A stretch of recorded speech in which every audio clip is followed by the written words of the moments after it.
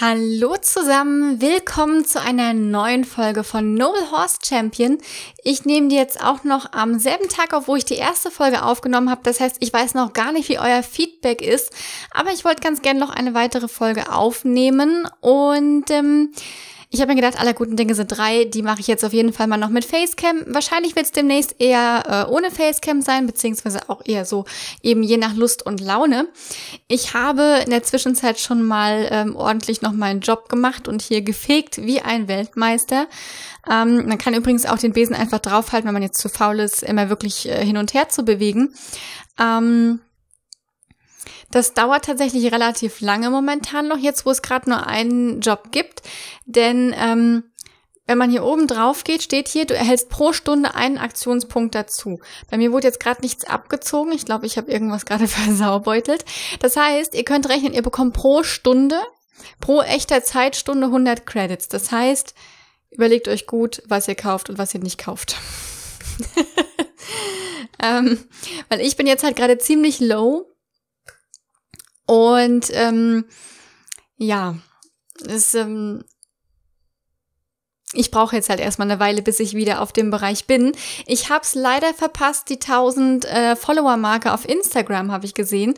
Denn, das habe ich mitbekommen bei der Sandy, die ja auch Horse Reality spielt, Einfach mal auf dem Kanal Nick Roll vorbeischauen, findet ihr dann auch unten in der Videobeschreibung. Die spielt das Spiel, wie gesagt, auch. Ähm, es gab dann nämlich zu den 1000 Followern auf Instagram einen Gutscheincode für, ich glaube, 10.000 Credits waren es gewesen. Den gibt's jetzt aber nicht mehr, der war nur einen Tag gültig. Und ähm, ja, das heißt, lohnt sich also auch, wenn ihr durchaus der Seite auf Instagram folgt, packe ich einfach auch mal unten in der Videobeschreibung, in die Videobeschreibung rein. Ähm, kurz schon mal, dass wenn mal wieder ein Gutscheincode kommt, dass ihr schon mal seht, wo man die einlöst. Ihr geht auf euer ähm, Konto und auf euer Profil, also klickt auf euren Namen, auf euer Profil und dann habt ihr hier Gutscheincode. Und da könnt ihr das eingeben, wenn eben einer gerade da ist. So, wir gehen nochmal in unsere äh, Stallungen rein. Ich habe jetzt hier das Ganze mal Stallgasse Hannoveraner genannt. Ich habe mir übrigens hier so ein paar Eckdaten mal aufgeschrieben, dass ich es nicht vergesse. Könnt ihr aber auch im Lexikon vorlesen, äh, durchlesen. Äh, in dem Spiel ist es so, dass eine von unseren Zeitwochen ist in diesem Spiel ein Jahr. Und pro Tag sinken die Werte je nachdem, wie gut die Box ist. Ähm, das hängt eben davon ab. Nach einem Jahr kann, also wenn das Pferd ein Jahr alt ist, kann man mit der Bodenarbeit beginnen, was auch ähm, die Charakterwerte eben ein bisschen verbessern kann. Ich zeige es euch jetzt gerade nochmal bei Cash. Das sind diese Werte hier, ähm, die können aber nicht unendlich verbessert werden. Und momentan kostet jede neue Box 1000 Credits, wird aber wohl noch teurer werden. Und ein neuer Stall kostet 20.000. Ich weiß aber leider nicht, wie viele Boxen in einen Stall reinpassen. Deswegen weiß ich nicht, wie viele Boxen man kaufen kann, bevor man einen neuen Stall kaufen muss.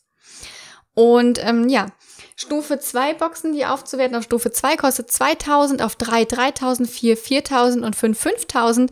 Ab 4000, ab Stufe 4 habt ihr dann auch die Selbsttränke und ab Stufe 5 ähm, müsst ihr nicht mehr selber die Box ausmisten so mal nebenher. Und ich habe mich jetzt mal noch ein bisschen, ähm, habe das mal noch ein bisschen angeguckt mit den Werten. Ähm, das sind gar nicht unbedingt alles Dressurpferde, was ja meine erste Vermutung war jetzt in der letzten Folge. Ich versorge einfach hier schon mal ein bisschen wieder, äh, beziehungsweise hier kann ich gerade gar nicht so viel machen. Momentan gibt's Futter und Wasser und sowas noch unbegrenzt. Das wird sich aber bestimmt noch ändern, da bin ich mir sehr, sehr sicher. Ähm,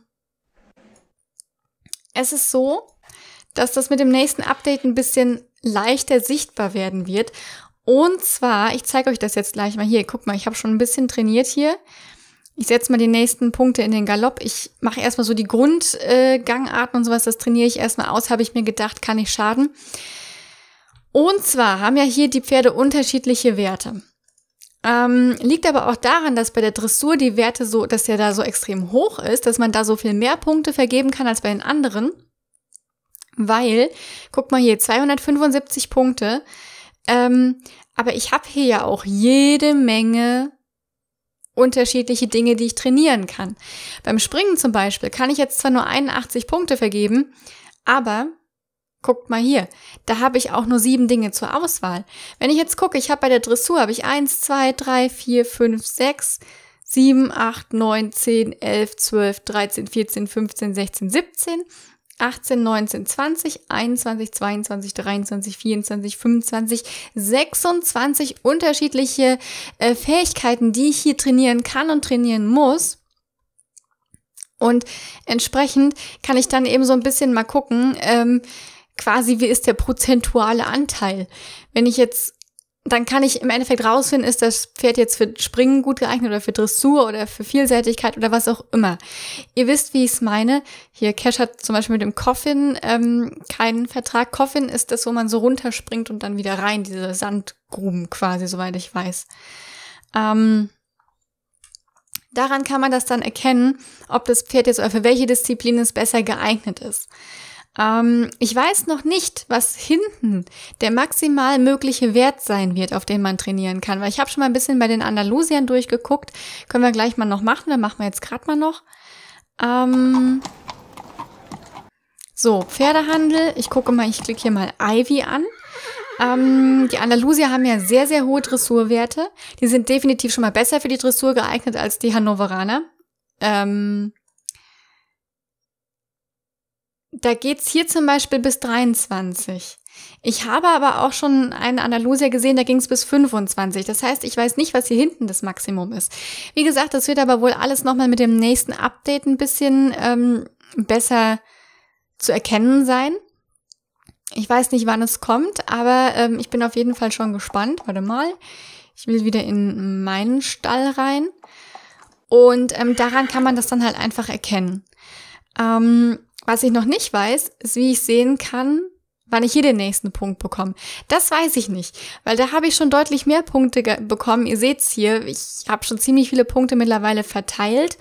Ähm, wie sich das hier aufteilt, das kann ich euch tatsächlich noch nicht sagen. Und ich hatte mal noch geschaut, tatsächlich ist es hier nicht die Prämierung, sondern eben die Körung beim Hengst, die dann irgendwann noch ansteht, wenn die Wettbewerbe ins Spiel reinkommen. Wo ich mich auch mega drüber freuen würde, wäre, wenn man Ausrüstung sehen könnte, wenn das Pferd einen Halfter drauf bekommen würde oder eine Stalldecke. Ähm, wenn das gehen würde, das würde mich auf jeden Fall super freuen. Kann ich mir aber tatsächlich ganz gut vorstellen. Ähm, so wie das Team hier die, die, äh, was heißt wie das Team? Wie äh, die Entwicklerin das hier jetzt schon aufgebaut hat mit dem Pflegen und sowas, denke ich, dass das schon deutlich detaillierter werden wird als so manch anderes Browser-Game. Ähm, nicht alle. Es gibt ja auch manche, da geht das mit den Decken und so weiter und so fort. Das könnte ich mir hier auch ganz gut vorstellen. Ich weiß es aber natürlich noch nicht. So, ähm, dann gucken wir mal noch nach Falbala. Die müssen wir auch mal wieder hier, was heißt, die müssen wir versorgen? Ich mache hier schon, ne, die sind eigentlich schon fast noch perfekt versorgt. Eigentlich nehme ich viel zu früh auf nach der letzten Aufnahme, aber ich wollte einfach jetzt gerade noch ganz gerne eine Aufnahme machen und dann muss ich mal gucken. Ich denk mal, dann warte ich sowieso erstmal eine ganze Weile ab, bis ich wieder was mache. Sie ist auch gerade schon dabei, den Galopp zu lernen. Das heißt, Galopp zu lernen, dass ich ihr den Galopp verbessere und trainiere. Die kleine Maus hat ja schon ein paar Punkte mehr bei Springen. Steilsprünge und Ochser sind nicht so ganz ihrs, ne? Das sind so die, die, die wichtigsten Hindernisse, die quasi fast jedes Hindernis im Parcours ausmachen, sind nicht so ihrs. Wassergräben findet sie toll. Baut mir einen ganzen Parcours aus Wassergräben hier hin und es ist perfekt. Aber die ist so hübsch, Leute, die ist so hübsch. Ich finde sie so wunderschön. Und ich würde so gerne noch mehr Pferde kaufen, aber ich kann gerade keine kaufen. Ich habe mir auch überlegt, vielleicht überlege ich immer noch so Fakten oder sowas dann zu den Pferden, die ich dann mit euch mal gemeinsam eintrage oder sowas.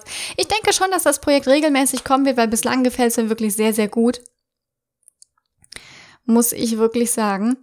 Ähm, was hätten wir denn hier momentan? Einfach mal Interesse halber. Was hätten wir denn hier gerade noch für Hannoveraner drin? Gar keine. Tatsächlich Holsteiner sind noch einige drin.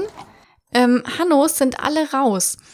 Ähm, ich glaube, es soll wohl so sein, dass regelmäßig die Computerpferde nachgeneriert werden. Ich kann es aber nicht genau sagen, wann. Hier hat jemand das Pferd krass teuer eingestellt. 32.000. Was macht dieses Pferd so besonders, dass es 32.000 wert ist?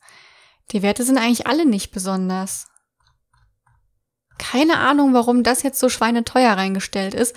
Ähm, Finde ich auf jeden Fall zu teuer. Aber es ist auch süß.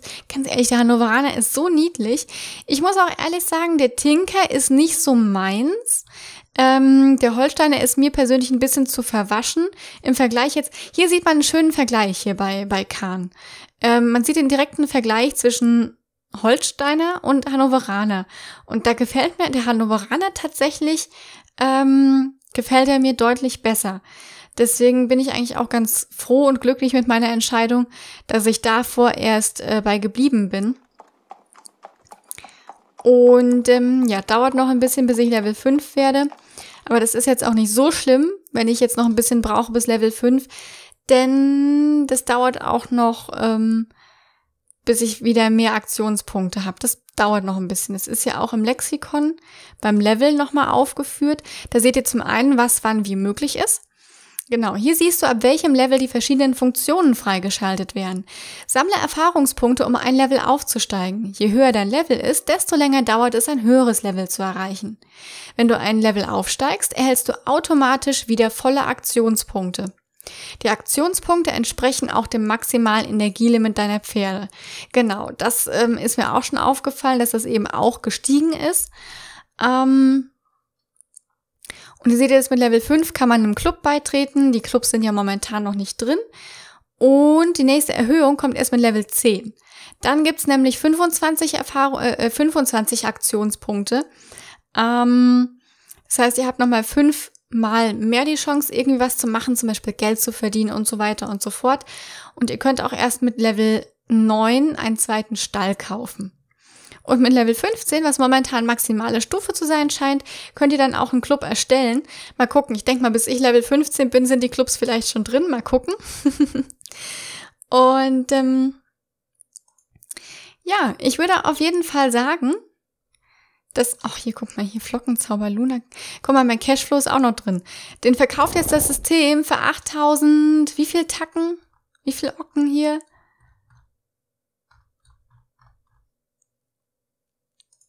Für 8000 noch was. Und ich habe dafür 2000 gekriegt. Hätte ich nur mal selber für 5000 reinstellen sollen. Wäre vielleicht gar nicht so schlecht gewesen. Eieiei. Aber huch, ich bin immer noch total verliebt, muss ich sagen, in meine beiden super, super schicken Hannos. Ich finde die so toll. Und haben ein kleiner Cashflow. Er ist schon süß, oder? Niedlich. Ja, hier ist noch kein Punkt wieder da. Wie gesagt, ich weiß noch nicht, wie lange das dauert. Ich weiß es nicht, ob ich es mir irgendwo anzeigen lassen kann. I don't get it. Ich weiß es nicht. Vielleicht ja, vielleicht nein. Ich weiß es nicht. Ich, wie, wie oft habe ich das jetzt gesagt? Wer hat mitgezählt? oh Mann. Ja, gut. Gut finde ich übrigens auch noch, kurze Info nochmal, ähm, dass hier auch der Züchter steht. Das heißt, da würde dann auch ich stehen, wenn ich dann irgendwann Fohlen gezüchtet habe. Und dann steht hier natürlich auch noch mein Zuchtkürzel vor. Das heißt, es ist definitiv, sieht man direkt, aus welchem Stall das Pferd kommt. Ähm, das finde ich definitiv eine sehr schicke Sache. Gut, ihr Lieben, aber ich würde dann noch sagen, das war's für heute. Ich habe jetzt keinen Plan, wie lange die Folge gewesen ist. Einfach mal, äh, um diejenigen von euch so ein bisschen aufzuklären, die jetzt vielleicht auch gerade anfangen. Ähm, es sind momentan nicht alles Dressurpferde, die reinkommen. Das war ein Denkfehler meinerseits. Es liegt einfach daran, dass man unterschiedlich viele Dinge zum Trainieren hat. Beim Rennen hier zum Beispiel habe ich nur fünf Stück und es ist trotzdem der niedrigste Wert. Das heißt, ich sehe, Cash ist nicht wirklich für Rennen zu gebrauchen. Okay, ihr Lieben, das war's dann aber auch für heute. Ich bedanke mich ganz herzlich fürs Zuschauen und dann würde ich sagen, macht's gut bis zur nächsten Folge. Ich würde mich natürlich über einen Daumen nach oben und einen Kommentar sehr freuen und ähm, ja, mal schauen. Ähm, ich weiß noch nicht genau, wann die nächste Folge kommt, aber ja, ich werde jetzt mit Sicherheit regelmäßig da reinschauen, euch auch Fortschritte zeigen und gucken, was da in den nächsten Updates so Neues kommt. Und ähm, ja, ich würde mich auf jeden Fall freuen, wenn ihr weiterhin dabei sein würdet. Bis dahin. Tschüss!